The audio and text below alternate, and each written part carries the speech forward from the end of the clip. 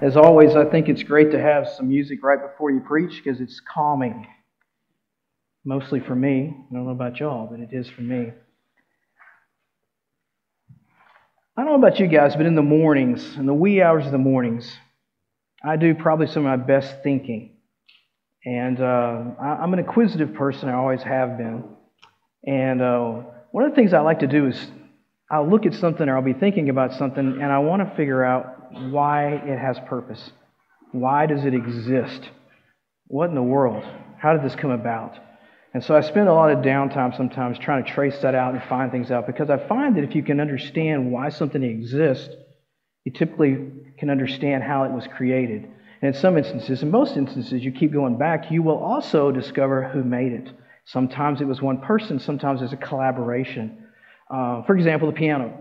You know, we look back at the piano and think, how did that come about? It is a very intricate piece of equipment, musical equipment. There's lots of strings, um, and there's the keys that make the sounds work. But at some point, somebody had a string, somebody had a wire, and it was made of a nice sound.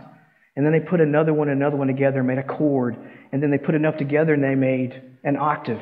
And eventually, they came up with we put this thing together, have all these octaves, 88 keys. We can make music and cover our spectrum of sounds. And so we find things out by being inquisitive. Uh, one of the things that I have been thinking about the last few months is church. Have you ever, I mean, we come to church, most of us have been coming to church for a long time. Uh, some of us are new to this. But have you considered why church? And that's the title. Why do we do this thing? Have you ever just thought about it? How does it come about? How did it form? Who made it? Okay, the answer is on the back of your bulletin. Who made it? We know. I gave you that one for free. That's uh, you're not going to fail the test. But who made it? God did. But why? What's the purpose? Is it? It's not a building. It's a little bit interesting about how that all came about. So uh, I want to try and answer these questions all pretty much at the same time, and uh, I want to go way back. I want to like to those of you that heard me and know me, I like to start in the Old Testament and roll forward to the New Testament because um, there's a lot to cover in between there. But let's go back to uh, Genesis 2 19 and 24. And we're going to see the first institution of what the church is, what, the, what a definition is. It says, But for Adam, no suitable helper was found. At this time, Adam had been brought, and God had already made the earth, and He'd made the sun and the moon, and He had the he was out there taking care of the animals. God brought the animals to him, and uh, it says he caused. Okay, we got it up there now. So God caused man to fall asleep, and uh, while he was sleeping, he took one of the man's ribs and closed him up and placed with the flesh.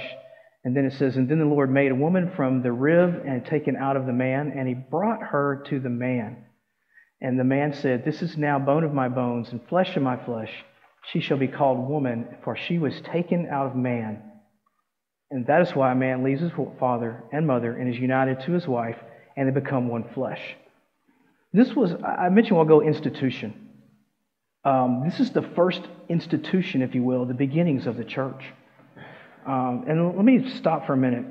If you're following along in your Bible, this is something that I didn't catch, believe it or not, until a few weeks ago. Uh, we're talking in the first part of Genesis. We got the whole creation account. We got everything from the stars, the sun, the moon, the birds, the whales, grass, animals, Adam. But is Eve, is, am I right in thinking that in my Bible that Eve is the last creation instance we have? It's the last thing?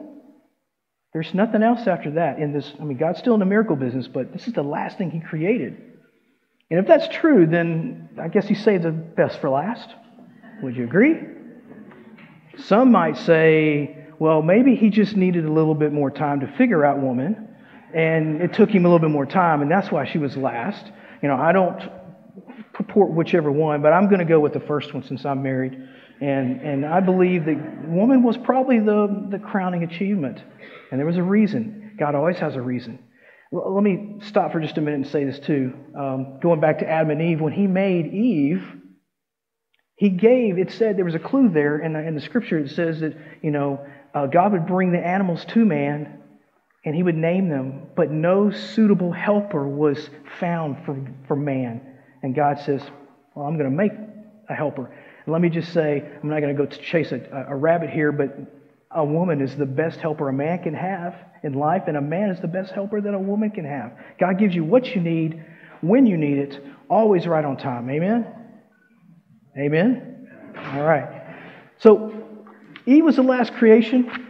Um, Adam was doing what he was supposed to be doing, but there was no traction. Let me just say that God, until Eve came on the scene, Adam was just tilling and, I don't know, naming animals. But when Eve came on the scene, things started happening. Okay? Eve had to be there to fulfill the mission that God wanted for his church. Without Eve, we don't, we don't exist. Okay? Eve becomes the mother of all of mankind, consequently, Adam, the father of all mankind. So Eve had a purpose. She was the bridesmaid, the wife of Adam. First institution, marriage. This is how the church is beginning right here. We don't hear the word church yet. Consequently, we don't even hear the word church as a building or a place until about between the second and third century. The, the word church that we, you read about in the New Testament, it's not talking about a building ever. I'm just a reporter, I didn't write it, but check it out. It's always the church is a body. It's you and me. It's a, we're believers together, and we're like a body of believers. Okay, that's what the church is. It's interesting enough, the New Testament church fulfilled all the things that it wanted to fulfill that God wanted to, and they didn't have a Bible. You know, Jason was talking about, you know, prior to, if you realize when the New Testament church started, the people started becoming believers, they didn't have what we have, and yet they knew what they were supposed to do. I'm jumping ahead. Um, so uh, let's fast forward to when Jesus Christ comes on the scene. I think this is uh, 1 Corinthians uh, 1547. And it says, we get an idea, something that you may have heard before, that, uh, that Jesus is the second Adam. And here's a reference to it. It says, the first man was the dust of the earth, and the second man was of heaven. And many times Jesus is referred to as the second Adam back here. Well, there's some parallels with Adam and Eve that's the same with Jesus Christ. Jesus has a bride. He came back as well. He came back for his bride. He died for his bride. He didn't die for a building, he didn't die for something that's inanimate, it doesn't have life. He died for something that's real. He died for us. And this is the answers. We are the church. We are the bride of Christ. And that I will purport to you that Adam and Eve, Adam couldn't finish his job. He couldn't fulfill his mission without Eve. Jesus can't fulfill his mission without his church, without his bride of Christ either. We have a part to play. And that should inspire in all us that we have that kind of responsibility to further his kingdom. Just as Eve furthered the, the human kingdom here, we are to, as the bride of Jesus, to further the heavenly kingdom here on earth. Um, take a look at Genesis 1 27. This is interesting because there's parallels again that I like to that I find that I want to throw out to you. In the Old Testament, the first book of the Bible, we see in Genesis 1:27, it's the account of creation. It's the first account. God created mankind in his own image. In the image of God, he created them male and female, and he created them. Now, that's the first page, the first book of the Old Testament. Jesus, fast forward, does the same thing in the first book of the New Testament, in the first book, Matthew. What does it say in Matthew 16, uh, verse 18? And I tell you that you are Peter, and on this rock I will build my church, and the gates of Hades will, will not overcome it. This is Christ talking to Peter, and I'm going to pull this back in in a minute. But there are parallels from the Old Testament to the New Testament right there. There's no mistakes about this. Um, so we kind of starting to understand what the church is. We are the bride of Christ. Who is the church? We are. You are. Every man, woman, and child. And so we understand what we are, we understand who made us, God. And we kind of want to look at just as Eve had a mission, we have a mission, the bride of Christ as well. What is that mission? Okay? So, how do we best perform our mission? Remember that in the beginning that I asked you a question about inventions and why things are created? I said the piano, and we look back things. What about light? Light. Um, in general. You know, before we had sun, we had moon. And when the sun went down, before we had fire, before we had any light, we went to sleep. But we, as men, we fear the darkness. We don't like the dark. Okay? So God, I mean, we started to create light, finding ways, fire, different things, the light bulb. Um, men, we don't like to be in the dark. Okay? I, for one, think that we probably slept too long back then, anyways, because when the sun goes down, there's nothing to do if you don't have light. I, for one, as the older I get, don't need that much sleep. I only need about, you know, eight or ten hours of sleep, like six, something like that. Depends on what day it is. After today, it may be like 12. Um, but we created light. Now, I want to take this back to Genesis again and go with this thing about light. Stay with me. So in Genesis 1, 16, verse 19, um, says, God made two great lights the greater light to be governed of the day, and the lesser light to be the government of the night. And he also made the stars. There's a lesson here, and I want to steal this back because um, all through time, since there's been sun and there's been moon, there have been people and cults, and there have been religions that have taken and twisted this. And we've heard that, you know, the sun is like a, a masculine, and that the moon is feminine. And there's been worship of one or the other, or both, or all the in between. Now, I want to steal that back because God created these things in the first page. He created these things, and there's lessons to be learned about this. Let me say, I don't have a problem with the sun being masculine. I don't have a problem with the moon being feminine because there's something to be learned here. What does the moon do that nothing else can do? Okay, the sun comes up and you see the moon. The moon does what? It does one thing and only. It doesn't have any inner illumination abilities. It has no fire, no it's not a star. It's a ball of dust. And what does it do? It reflects, right? Some of you students are out there going, I didn't want science today. I came to church. Okay, seriously. All the moon does is reflect the sun. Are you staying with me? Are you tracking with me? That's what we, the church, are supposed to be doing. We I don't have a problem with the, with, with the church being moon because we're supposed to keep our eye on the sun. We're supposed to reflect the sun. When people come in our church, that's what we're supposed to be doing reflect what God is. And He tells us what we're supposed to be doing. We're supposed to love people, show mercy, help people. That's how we stay in tune and we reflect what the sun is, the S O N. But you know, things, it's hard. It, we're not perfect every day. We can't pull this off every day. By the way, let me go a little personal you know, every man, woman, and child, when we leave this building that we call a church, and we, the body of believers, go outside and we become the church individually, man, woman, child, student, we're supposed to be still reflecting the sun to those people that were around us at work, at play. Okay? Um, in, in hopes that in some point in your life, people watch you. I know they do. And they look for consistencies. I see that with the students. I see that when I work with young people. They look for consistencies because there's a lot of things that are not consistent in the world. And people look at you for consistencies. If you have a great affect, you like and you're happy, and people say, man, nothing gets him down, nothing gets her down, they're unflappable. I hope and pray that when somebody, the Holy Spirit, pricks somebody to come and talk to you about what is it? What is it that you have? Why are you consistent? Why is never seems to be nothing bothers you? That you can humbly have a testimony and say, I'm just trying to reflect the Son. I'm just trying to reflect what Christ has done for me. I'm, I'm just a humble servant. And whatever you see good in me, whatever you think you see, it's just a reflection of God who came and saved me. So there's a, you know, I said it's hard for us to do this every day, in and out, in and out. That's because we're human. That's because we're not perfect. We're not even half God like Christ was. And Jesus knows this. God knows this every day. We're not, we just can't pull it off and be perfect every day. And God knows this. You know, there's a verse in the Bible, and this one I didn't look up, but I've I heard it so much in my life that Jesus' mercies start fresh and anew every morning. It's like the sun coming up. You didn't do great the day before, but today is a new day. When you wake up, God's giving you a new opportunity to reflect Him, to love on people. But there's something that gets in the way here comes back to cosmology again. Cosmology, cosmology. And that is what gets in the way of the moon and the sun?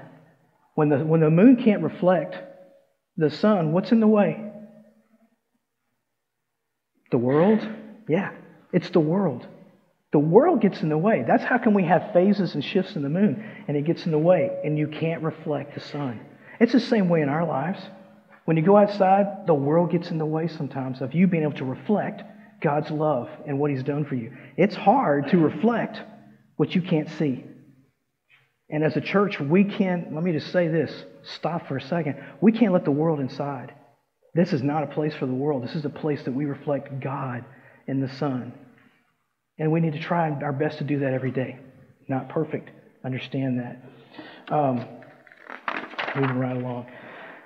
So, also, all through the Bible, if you picked up on this, that Jesus is always referred to as the Son of Light. He's always the Lord of the light. And Satan is always referred to as darkness. He's the king of darkness. That is throughout the Bible. That is a theme. So there's, there's these things that God, I believe, is trying to teach us through nature.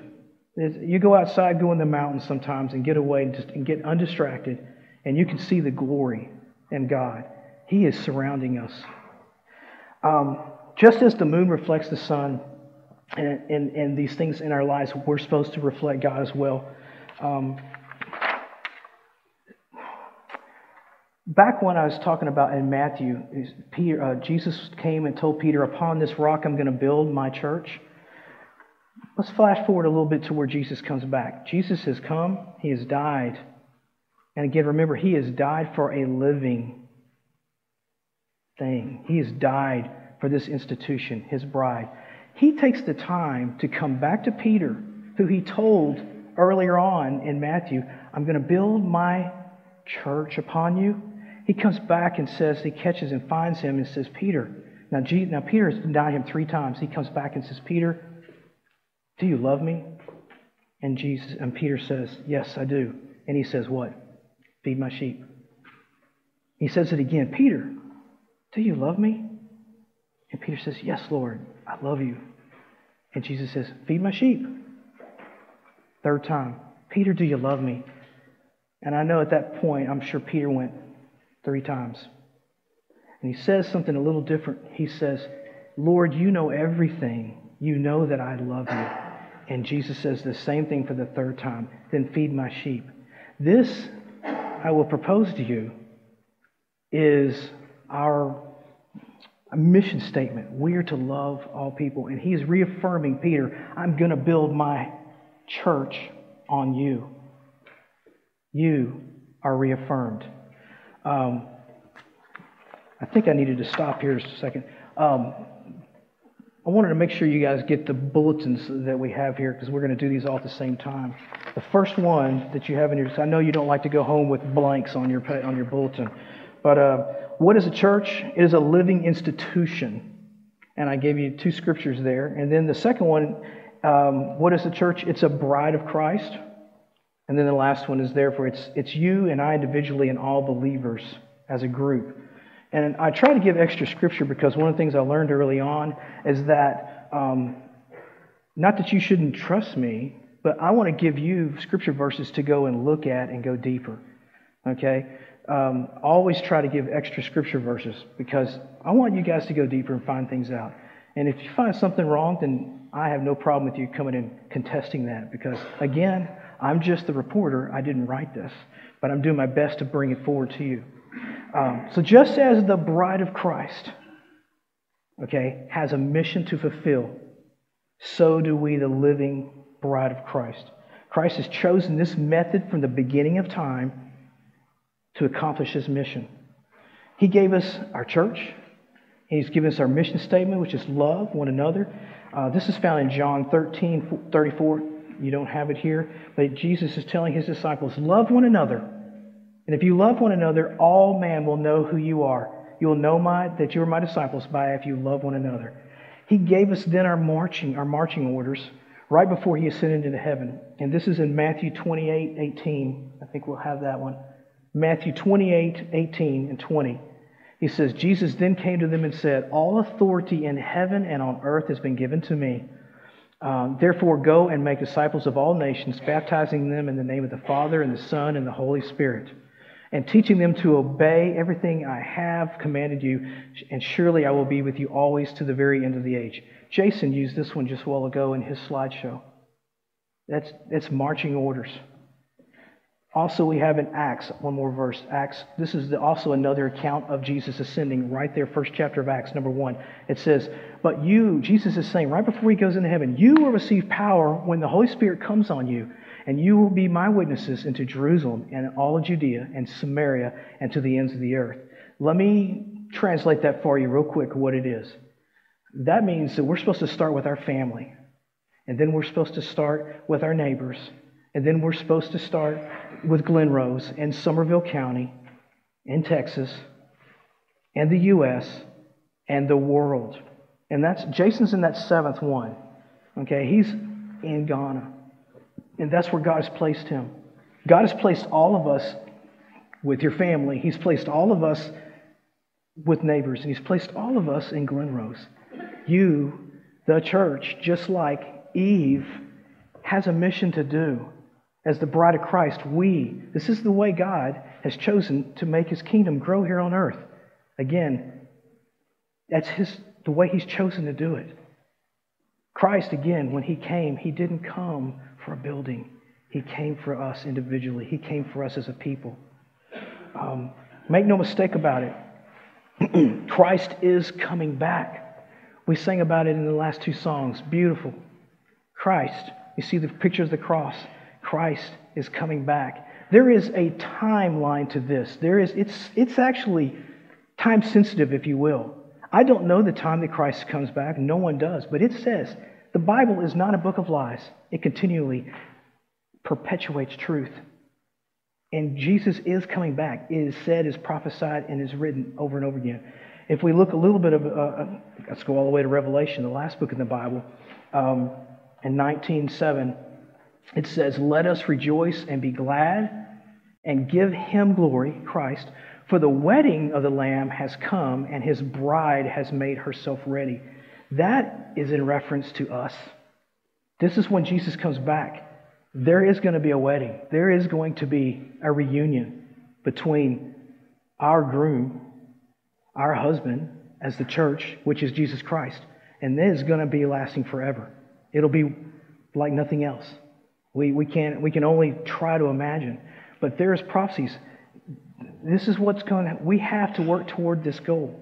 We have to be ever vigilant. Christ is coming back. Um, and when he comes back, its time, I hate to say, is up.